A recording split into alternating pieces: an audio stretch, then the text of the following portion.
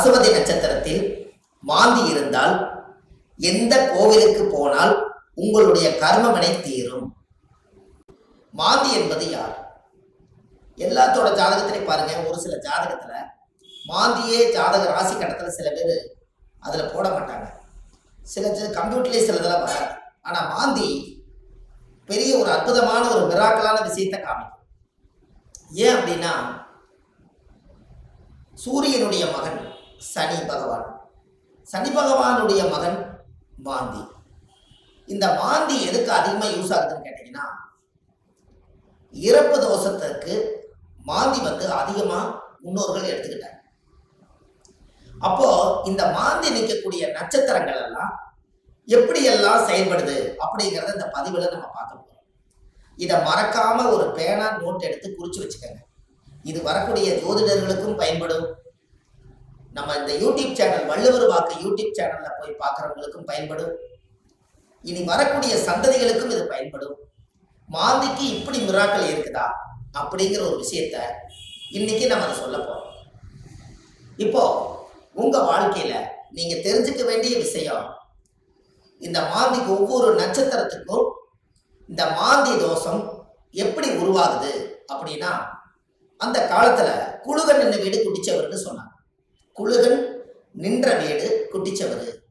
அப்படின்னா குழுகன் நின்ற வீடு குட்டிச்சவர். அப்ப இந்த மாந்தி போய் எந்த ராசியில் இருக்குதோ எந்த நட்சத்திரத்து மேல ஏறி உட்கார்ந்துருக்குதோ அந்த நட்சத்திரத்தினுடைய திசைகள் வந்து அவங்களுக்கு தோஷம் அடையுமா? அப்ப அந்த மாந்தி தோஷம் என்பது என்ன? இருப்பு சம்பந்தப்பட்டது. உங்களுக்கு ஒரு உதாரணத்துக்கு சொல்றேன். லக்னங்கிறதா உயிர். லக்னம் தான் உயிர். ஒரு மனிதனுக்கு ஒரு தாயுடைய கருவறையில இருந்து தொப்புள் கொடி அறுக்கும் நேரம் எந்த லக்னத்தில் அவங்க பிறந்திருக்காங்களோ அந்த லக்னம் எந்த நட்சத்திரத்துல கரெக்டா நிக்குதோ அந்த நட்சத்திரத்து மேல இந்த மாந்தியோட தீட்டு தோசை அதுல இருக்கு. இது உங்களுக்கு தெரியுமா? இதை நீங்க கண்டிப்பா தெரிஞ்சுக்கணும். அப்ப லக்னத்தினுடைய மாந்தி பிரேத மாந்தி என்பது இறப்பு. அப்போ அவங்க முன்னோர்கள் அந்த காலத்துல என்ன பண்ணியிருப்பாங்கன்னா ஒரு லக்னத்துக்குள்ள வந்து லக்னம் ஒரு ராசி கட்டத்துக்குள்ள மூணு நட்சத்திரம் இருக்கு. இந்த மூணு நட்சத்திரத்துல இப்போ ஒரு உதாரணத்துக்கு அசுவனி பரணி கிருத்திகை ஒன்னாம் பாதம். இந்த மூணு மேச ராசியில இருக்குது. ஒரு உதாரணம். அதுல அசுவதி நட்சத்திரத்துல மாந்தி இருந்தா என்ன பலன்? பரணி நட்சத்திரத்துல மாந்தி இருந்தா என்ன பலன்? கிருத்திகை நட்சத்திரத்துல மாந்தி இருந்தா என்ன பலன்? இதைத்தான் இந்த பதிவுல உங்களுக்கு சொல்ல போறேன் இது உதாரணத்துக்காக. அப்போ ஒரு நட்சத்திரம். அந்த ஜாதகத்துல வந்து நம்மளுக்கு கிடைக்க வேண்டிய நட்சத்திரம். அப்ப எந்த நட்சத்திரத்துல மாந்தி வந்து உங்களுடைய ஜாதகத்துல இருக்குதோ அந்த நட்சத்திரத்தினுடைய திசை உங்களுக்கு தெரியும். உதாரணமா அசுபதி நட்சத்திரமா இருந்தா அவங்க கேது திசையில தான் அவங்க செயல்படுவாங்க. அப்ப ஜாதகத்துல வந்து எனக்கு என்னங்க அசுபதி நட்சத்திரம் கேது திசை நடக்குது? எனக்கு கேது அசுபதி நட்சத்திரத்துக்கு கேது திசை நடத்துறாரு. எனக்கு ஒரு பலனுமே நடக்கலைங்க அப்படின்னு நீங்க சொல்லவே வேண்டாம். அந்த அசுபதி நட்சத்திரத்துக்கு அதிபதி கேது இந்த மாந்தியோட சாபம் வாங்கி இருக்கிறதுனால அந்த திசை நம்மளுக்கு வேலை செய்ய மாட்டேங்குது. அப்போ அதை நம்ம சரிப்படுத்தினா தானே அது நிவர்த்தியாகும். அப்போ அசுமதி நட்சத்திரத்துக்கு கேது கேது என்பது பாட்ட பாட்டியில பாட்டின்னு வருது. அப்போ பாட்டிக்கு ஈமகாரிய செலவு செய்யாம விட்டுட்டால் அந்த முன்னோர்களுக்கு ஈமகாரியங்கள் செய்யாம விட்டுட்டா இறந்த முன்னோர்களுக்கெல்லாம் மூதாதிகளுக்கெல்லாம் செய்யாம விட்டுட்டா இந்த நட்சத்திர சாபம் அந்த குடும்பத்துக்குள்ள போய் அந்த திசைக்கு வந்து யோகத்தை கொடுக்கறதில்ல. அப்போ அப்ப கர்மாவிலேயே மாட்டிக்கிறீங்க. அப்புறம் எப்படி மேல வரும்? அப்ப இதெல்லாம் அந்த காலத்துல முன்னோர்கள் வந்து குளிகை நின்று வீடு குடிச்சவர்னு எதுக்கு சொல்லி வச்சாங்கன்னா ஒரு வீட்டுல ராசி கட்டத்துல குளிகை நின்று வீடு குடிச்சவர் சொல்லி வைக்கல.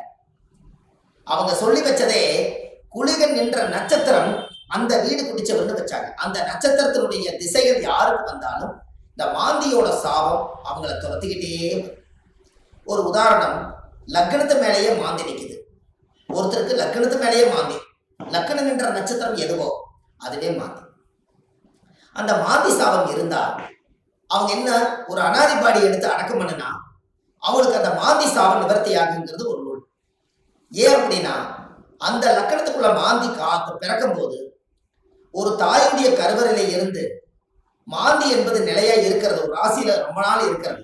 லக்னம் என்பது ரெண்டு மணி ரெண்டு மணி நேரத்துக்கு ஒரு லக்னம் நகர்ந்து வெளியில வந்துடும் கரெக்டா அந்த பிரசவமாகி இந்த லக்கணம் போய் கரெக்டா மாந்தியோட நட்சத்திரத்துல போய் கரெக்டா அந்த லக்கணம் உட்கார்ந்துட்டால் இந்த லக்கணம் வந்து தீட்டாய் போயிடும் இதுதான் அதனுடைய பரம ரகசியம். நம்ம அவங்களுக்கு பாருங்க அந்த லக்கணம் போய் நின்ற நட்சத்திரத்துல போய் அந்த தீட்டு விழுந்துருச்சுன்னா முகமெல்லாம் மாறிடும் முகம் அவங்களோட தேஜஸ் இருக்காது. ஒரு இருளன்ற மாதிரி இருப்பாங்க. என்னமோ ஒரு தோஷம் அவங்கள தாக்கிட்டே இருக்கும். ஒரு செயல்பாடு சிறப்பாக இருக்காது. எந்த ஒரு காரியம் எடுத்தாலும் தடை. வீட்டு காரியம் எடுத்தாலும் தடை. தொழிலில் போய் ஜெயிக்கலான்னா தடை. திருமண வாழ்க்கையில் நிம்மதியாக இருக்கலாம்னா திருமணத்தில் திருப்தி இல்லை. குழந்தை பாக்கியம் பெற்றுக்கலான்னா குழந்தைக்கு ஏதாவது ஒரு உச்சங்கள் பூர்வீகத்தில் போய் வாழலான்னா பூர்வீகத்தில் முன்னோருடைய சாபம். இப்படி வந்து இந்த மாந்தியுடைய நட்சத்திர தோஷங்கள் உங்களுக்கு அதிகமான முறையில் இது கர்மாவை செயல்படுது அப்போ முன்னோர்கள் அந்த காலத்துல இதுக்கு எல்லாமே கோவில் வச்சிருக்காங்க. பாருங்க இதுதான் ஒரு ஹைலைட் இந்த ரகசியத்தை சொல்லாம விட்டுட்டா கடைசி வரைக்கும் உங்களுக்கு தெரியாமலே போய் ஒவ்வொருத்தருடைய ஜாதகத்திலையுமே எந்தெந்த நட்சத்திரத்துல மாந்தி இருக்குதோ அதற்குரிய கோவில்ல போய் சுவாமிக்கு தேங்காய் பழம் பூமாலை கல்கண்டு வாங்கி அர்ச்சனை பண்ணி சாமி கும்பிட்டு வந்துட்டால் உங்களுடைய அந்த நட்சத்திரத்தினுடைய மாந்தி சாபம் அன்றோடு அது நிவர்த்தியாது அப்ப இது ஒரு பெரிய அற்புதம் அல்லவா? இப்ப நீங்க தெரிஞ்சுக்கணும் அப்ப அந்த கோவிலுடைய வரலாறு எங்க இருக்குது? அந்த கோவிலை நம்ம எப்படி கண்டுபிடிக்கிறது? இந்த கோயிலுக்கு போறக்கு வழிமுறைகள் என்ன? இது எல்லாமே நீங்க தெரிஞ்சுக்கிட்டா மட்டும்தான் அந்த வாழ்க்கை உங்களுக்கு கரெக்டா செயல்படும். அப்போ முன்னோர்கள் அந்த காலத்துல சூரியனுடைய மகன் சனி பகவான் சனி பகவானுடைய மகன் மாந்தி. அப்ப அப்பாவுடைய பேரன் தான் நம்மளுக்கு மாந்தி தோஷமா வர்றாரு. அப்ப அப்பாவுடைய சொத்து பிள்ளைக்குத்தானா அப்பாவுடைய பாவம் பிள்ளைக்குத்தானே. அந்த கர்மாவில் இருந்துதான் உங்களால வெளியில வர முடியல அப்ப இது மூலியமா தான் உங்களுக்கு கர்மா செயல்படுது. பாருங்க உங்களுக்கு தாத்தாவோட சொத்து அந்த காலத்துல பாத்தீங்கன்னா தாத்தாவோட சொத்தை கொண்டு போய் வாழ்ந்து முடிச்சிட்டு உயிர் எழுதும் போது பேரன் போய் எழுதுவார். அப்ப சூரியனுக்கும் சனி பகவானுக்கு தொடர்பு இல்லை. மாந்திக்கு தான் தொடர்பு வருது அப்போ அந்த ஜாதகத்திலேயே அப்ப மாந்தி என்பது உள்வினை கர்மா மாந்தி என்பது முன்னோர்களுக்கு திதி கொடுக்காம விட்டுட்டீங்கன்னா அது நட்சத்திரத்தினுடைய மாந்தி போய் அந்த தோஷம் அடைஞ்சிடும் அந்த திசைகள்ல நம்மளுக்கு சரியான பிரச்சனைகள் வந்து எல்லா கோயிலுக்கும் போயிட்டு வந்துட்டேங்க. எல்லா பூஜையும் பண்ணிட்டு வந்துட்டேன். எல்லா பரிகாரங்களும் சொன்னதெல்லாம் செய்திருக்கேன். ஆனா ஏன் எனக்கு வந்து ஒவ்வொரு நாளும் பலாபலம் மாறி வருது? எனக்கு எதுவுமே நடக்கலையே. இப்படி ஒரு கேள்வி பிறக்குது. அப்ப அந்த ஜாதகத்தை வாங்கி பார்த்தா நீங்க என்ன நட்சத்திரக்கா என்ன நட்சத்திரத்துல திசை நடக்குதுன்னு கேட்டா எனக்கு ஒரு நட்சத்திரம் அஸ்வினியில திசை நடக்குது. எனக்கு கேது திசை நடக்குதுங்க. கேது அது மாந்தியோட நட்சத்திரம். அஸ்வினியில் இருந்து நிக்குது அப்போ இப்படித்தான் ஒவ்வொருத்தருடைய நட்சத்திரத்தையும் இந்த மாந்தி லாக் பண்ணி வச்சிருக்கு. இதை தெரிஞ்சுக்கிட்டாலே உங்க வாழ்க்கை ரொம்ப சிறப்பா இருக்குமே. அப்ப இந்த மாந்திங்கிற ஒரு கர்மா கேரளாவில எல்லாம் பாத்தீங்கன்னா குளியனை வச்சுதான் ஜாதகமே கணிப்பாங்க. அவங்களுக்கு கர்ம வினையை கண்டுபிடிக்கிறதே குளியனை வச்சுதான் அதனாலதான் குளிகன் இந்த வீடு குட்டிச்சவர்னு அந்த காலத்துல சொன்னது. கேரளாவில் பிரசன்னம் பார்த்தாங்கன்னா குளிகை தோஷம் இருக்குதுங்கிறத அவங்க அதை தெளிவா சொல்லுவாங்க. அப்ப அதை சொல்லி முதல் முன்னோர்களுடைய கர்மாவை நிவர்த்தி செய்துட்டா நீங்க இந்த பூமியில பிறக்கும் போது கொண்டு வந்த யோகம் வேலை செய்யுங்கிறது ஒரு நூல் உண்டு. அது அந்த காலத்துல இருந்தே இருக்கு. நாம நல்லா யோசிச்சு பாருங்க. நம்ம போன ஜென்மத்துல செய்த பாவங்கள் இந்த ஜென்மத்துல கிரக அமைப்போட இருந்து நான் ஏதாவது ஒரு கஷ்டமா தான் நம்ம என்ன சொல்றோம்? போன ஜென்மத்துல நான் என்ன பாவம் செஞ்சேன்னு எனக்கு தெரியலீங்க. ஆனா இந்த ஜென்மத்துல நான் ரொம்ப கஷ்டப்பட்டு போயிட்டேன். ஒரு காலம் கெட்டால் நான் ஒரு காலம் நான் நல்லா இருக்கணும். நான் சம்பாரிச்சதுலயும் நிம்மதி இல்லை. வாழ்க்கையிலேயே எனக்கு நிம்மதி இல்லை. குழந்தை பெற்று பார்த்தா அது நிம்மதி இல்லை. கணவன் மனைவியோட வாழ்ந்து பார்த்தா அதுலேயே நிம்மதி இல்லை. எனக்கு இந்த ஜாதகத்துல ஏன் தான் நான் அந்த பிறப்பு வாங்கி வந்தேன்னு எனக்கும் தெரியல. அப்ப நான் எப்பதான் நான் நல்லா இருப்பேன் அப்படின்னு ஒரு கேள்வி பிறக்குது. அப்ப இந்த இடத்துல என்னன்னு கேட்டா சூரியன் ஒரு ஜாதகத்துல உச்சமா இருக்காரு. நீங்க ஜம்முன்னு இருப்பீங்க. சனி உச்சமாக்குறாரு ஜம்முன்னு இருப்பீங்க. இதெல்லாம் ரைட்டு ஆனால் இந்த கர்ம வினைங்கிறது ஒண்ணு என்னன்னா தாயுடைய கருவறையில இருந்து தொப்புள் கொடி அறுக்கும் போதே இந்த பிரபஞ்சம் கொடுக்கக்கூடிய அந்த கர்மா தோஷம் தான் அந்த லக்ன தோஷமோ இந்த நட்சத்திரத்தினுடைய மாந்தி தோஷம். அப்போ ஒவ்வொரு நட்சத்திரக்காரர்களுக்கும் மாந்தி எந்த நட்சத்திரத்துல இருக்குதோ அதுக்குரிய கோயிலுக்கு போயிட்டு வந்தீங்கன்னா கண்டிப்பா உங்க லைஃப்ல ஒரு மாற்றம் ஏற்படும். அதுக்கப்புறம் உங்களோட தொழில் விருத்தியாகும் குடும்ப விருத்தியாகும் மனை விருத்தியாகும் மாங்கல்ய விருத்தியாகும் ஆயுள் ஆரோக்கிய ஐஸ்வர்யம் விருத்தியாகும் புத்திர பாக்கியம் விருத்தியாகும். செய்யும் தொழிலில் லாபம் கிடைக்கும். மன நிம்மதி சந்தோஷம் உங்களுக்குள்ள இருக்கும். பட்ட கடன் அடைச்சிருவீங்க. தீராத துன்பத்திலிருந்து வெளியே வந்துடுவீங்க வெளிநாட்டு பயணம் போக வேண்டிய தடைகளுக்கு போயிட்டு வந்துடுவீங்க திருமணமே ஒரு வாழ்க்கை அமைஞ்சு எனக்கு சரியில்லை. மறுவாழ்வு தான் எனக்கு வேண்டி நினைச்சிட்டு இருக்கிறவங்களுக்கு மறுவாழ்வு. குடும்பத்துக்குள்ள தீராத நோய்கள் மருந்தில்லாத நோய்க்கு மருந்து எல்லாமே உங்களுக்கு கிடைக்கும். அதுக்கு நீங்க என்ன பண்ணணும்? உங்க ஜாதகத்தை நீங்க நல்லா எடுங்க. ஜாதகத்தை எடுத்து உங்க ஜாதகத்துல மாந்தி சாரமாகாத கிரகம் சோரம் போய்விடுமா? மாந்தி எந்த நட்சத்திரத்துல இருக்குதோ அந்த நட்சத்திரம் எதுன்னு பாருங்க. அந்த நட்சத்திர கோயிலுக்கு கரெக்டா நீங்க போயிட்டு வாங்க. உங்களுக்கு அந்த மாந்தி நின்ற நட்சத்திர தோசை நிவர்த்தியானால் உங்களுக்கு நடக்கிற குடும்பத்துல எல்லாம் நல்லா இருக்கும். அப்போ இந்த ஜாதகத்துல இவ்வளவு பெரிய ரகசியத்தை நிவர்த்தி பண்ணலைன்னா அது முடக்கு மாதிரி அப்படியே முடங்கி போயிடும் இதனாலதான் அந்த ஜாதகத்துல அந்த காலத்திலேயே இந்த விஷயத்த சொல்லி வச்சாங்க. இது இன்னைக்கு தான் அது வெளியில வருது.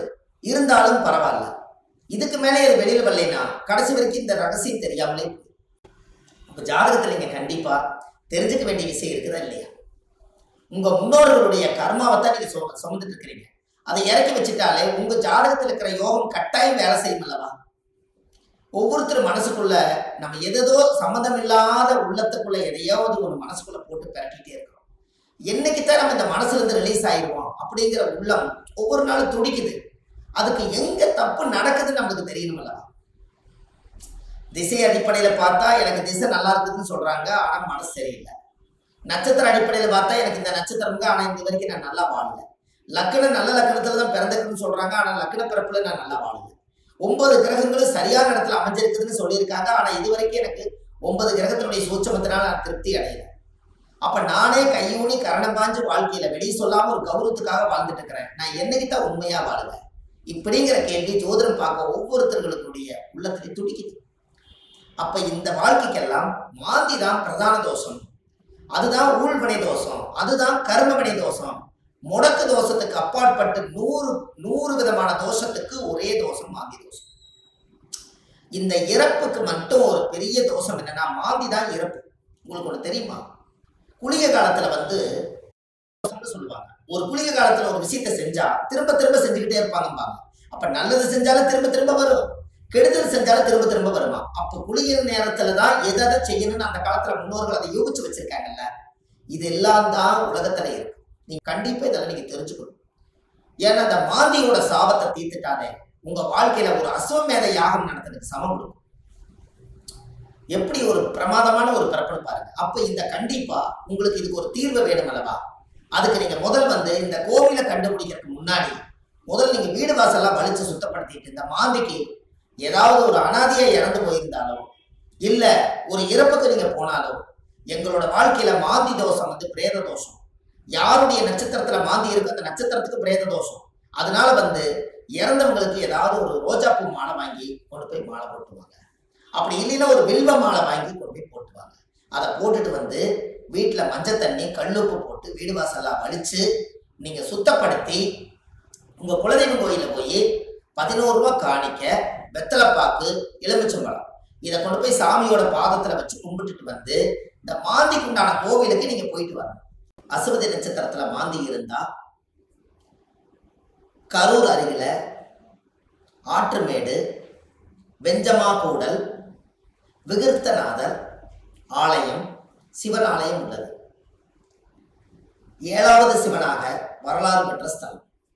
இந்த ஸ்தலத்தில் போய் முறையா நீங்க வழிபட்டு வந்தால் உங்க வாழ்க்கை ரொம்ப சிறப்பா இருக்கும். அப்ப அந்த கோவிலுக்கு நீங்க போறதுக்கு முன்னாடி இந்த வீடு வாசல்லாம் வலிச்சு நீங்க சுத்தப்படுத்தி குழந்தை பிறந்த வீடு வயசுக்கு வந்த வீடு இறந்த வீடு இந்த வீட்டுகளுக்கெல்லாம் நீங்க போகாம இந்த பிரேதத்துக்கு நீங்க மாலை போட்டுட்டு வந்து மூணாவது நாள்ல இருந்து ஒரு மூணு நாளைக்காவது வீடு வாசலாம் வலிச்சு சுத்தப்படுத்தி நான்வெஜ் எதுவுமே யூஸ் பண்ணாம நீங்க பரிசுத்தமா நீங்க இருக்கணும்.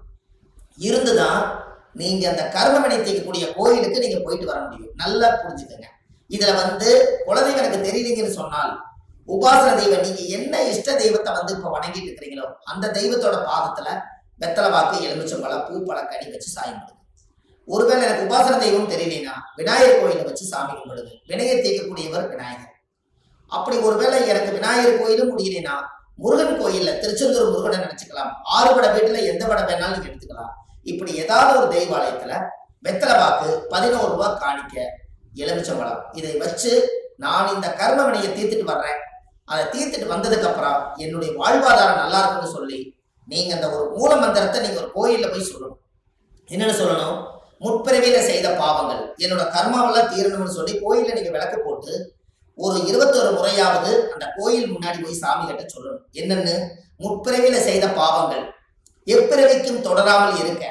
இப்பிறவியிலேயே என்னுடைய தந்தை வழியில வந்த கர்ம வினைகளும் தாய் வழியில வந்த கர்ம வினைகளும் என்னுடைய இந்த பூர்வ ஜென்மத்துல நான் இந்த பூமியில கொண்டு வந்த கர்ம வினைகளும் இன்றோடு நிவர்த்தி ஆகட்டும்னு சொல்லி உங்க ஜாதகத்துல இந்த கர்மா தோஷத்தை நீங்க சுத்தப்படுத்தியாச்சுன்னா அன்னையோட உங்க வாழ்க்கை ரொம்ப சிறப்பாக இருக்கும். இதை சொல்லி விளக்கு போட்டு சாமி கும்பிட்டு தேங்காய் பழம் பூமாலை கல்கண்டு வாங்கி அர்ச்சனை பண்ணி சாமி கும்பிட்டு வாங்க அன்னையோட அது நிவர்த்தி ஆகும். அந்த கோவில் என்னங்கிறது தான் இப்போ உங்களுக்கு சொல்ல போறேன். ஏன்னா இந்த கோயில் வந்து நம்ம எப்ப சொல்லணுங்கிற ஒரு விதி இருக்குது. இந்த அர்த்தங்கள் எல்லாம் புரியாம நீங்க கோயில் செஞ்சு கோயில் தெரிஞ்சிட்டாலோ கோயிலுக்கு போனாலோ விவரம் பத்தாது. அதனால நீங்க இதை செஞ்சீங்கன்னா உங்க வாழ்க்கை ரொம்ப பிரமாதமா இருக்கும். என்று சொல்லி இந்த ஒவ்வொருத்தரோட வாழ்க்கையிலையுமே இந்த மாந்தி தோஷம் நம்மளை வந்து ரொம்ப கடுமையான பாதிப்புல கொண்டு போய் எல்லா மக்களையும் உட்கார வச்சதுனால இந்த மாந்தியிலிருந்து நீங்க விடுதலை ஆயிட்டால் உங்களுக்கு சுதந்திரம் கிடைச்சாச்சு. உங்க ஜாதகத்தினுடைய பிடியிலிருந்து தோஷத்தினுடைய பிடியிலிருந்து உங்க வாழ்வாதாரத்தினுடைய பிடியிலிருந்து நீங்க மிகப்பெரிய பிரம்மாண்டமான ஒரு ஆரோக்கியமான வாழ்க்கை வாழுவீங்க. இந்த மாந்தி சாபத்தை நிவர்த்தி பண்ணிட்டு வாங்க. உங்க வாழ்க்கை எப்படி இருக்குதுன்னு மட்டும் பாருங்க. இந்த மாதிரி ஆயிரம் பரிகாரங்கள் உங்களுக்கு எளிமையா கொடுத்துருக்கறனால இதை நீங்க ஒரு சப்ஸ்கிரைப் பண்ணுங்க. டெய்லி போடக்கூடிய வீடியோ உங்களுக்கு வந்துடும் அப்ப இந்த ஒரு சூட்சமத்தை இன்னைக்கு இந்த மாந்தி தோஷத்தை நிவர்த்தி பண்றதுக்கு கட்டாயம் உங்களோட வாழ்க்கையில ஒரு மிகப்பெரிய ஒரு மாற்றத்தை நீங்க ஏற்படுத்த போகுது. அப்ப என்னென்ன நட்சத்திரத்துல மாந்தி இருந்தால் இந்த கர்மதோஷம் நீங்கிறத இருபத்தி ஏழு நட்சத்திரத்துக்காரர்களுக்கும் இந்த வீடியோவை நான் உங்களுக்கு பதிவாக கொடுக்குறேன். ஒவ்வொரு நட்சத்திரக்காரர் இருபத்தி ஏழு நட்சத்திரத்துல யாரார் இந்த உலகத்துல எந்தெந்த நட்சத்திரத்துல நீங்க பிறந்திருக்கீங்களோ அந்தந்த நட்சத்திரத்துல போய் அதுக்குரிய கோயிலுக்கு போய் வழிபாடு பண்ணிடுவாங்க கண்டிப்பா உங்க வாழ்க்கை நல்லா இருக்கும். அதுக்காக இந்த பதிவை கொடுக்குறேன் கொடுக்குறேன். பாரம்பரிய திருவள்ளுவர் குல வம்சம் பிரசன்ன ஜோதிடர் சுப மாரிமுத்து திருப்பூர்லேருந்து. நன்றி வணக்கம்.